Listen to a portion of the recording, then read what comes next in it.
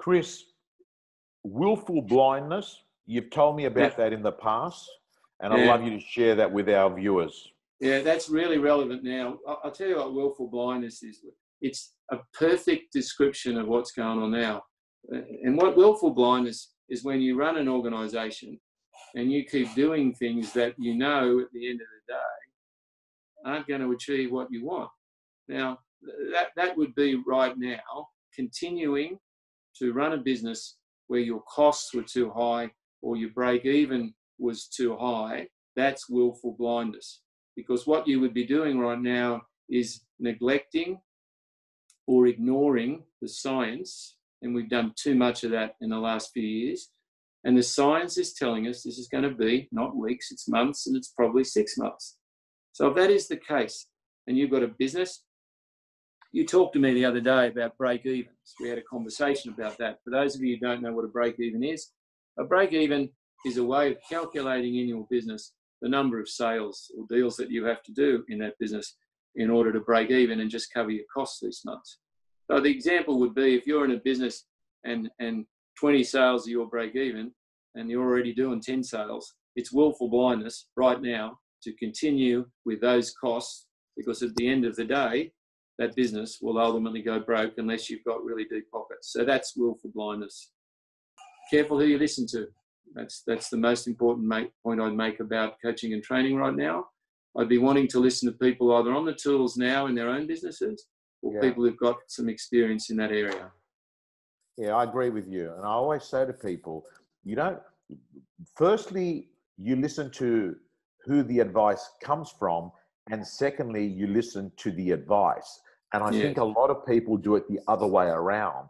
They listen to the advice first and then where it's come from. And all I've learned, and you know, Chris, I'm I'm cynical because there's a group of people that influence the mind of our industry, the 90,000 people that you talk about, and they have never ever had the insomnia of looking forward and knowing shit i'm going to got a shortfall between income and expense, expenses. They've never had anyone that's walked into their office saying hey i'm opening up across the road against you.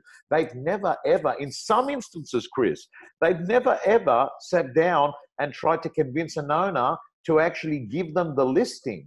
And then we've got 90,000 people that will sit there and listen to these people, whether it's on a stage or on a podcast, and they'll say, geez, that sounds so eloquent.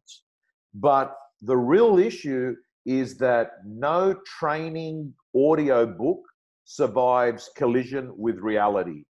And um, reality is very different to the seven steps to get a listing. Reality is very different to this is the world class guide to making a profit because every PowerPoint looks good on a on a stage, you know. Other than unpredictability and being comfortable with unpredictability, which we've all got to be right now, and it's a scary thought. Trust is the other big issue.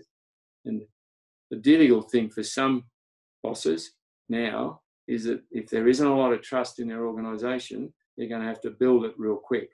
And I'll tell you the simple, quickest way to build trust both with your sellers, with your landlords, with your tenants, and with your staff. The rule's the same. It's given you a test drive of Real Estate Gym. Let me tell you, if you're a subscriber and a member of the gym, you'll be getting videos from our co-coaches all the time. You'll be getting mentors, you'll be getting scripts, you'll be getting dialogues, you'll be getting templates, and most importantly, my Prospector, your personal accountability system to make more calls, get more appointments, get more listings.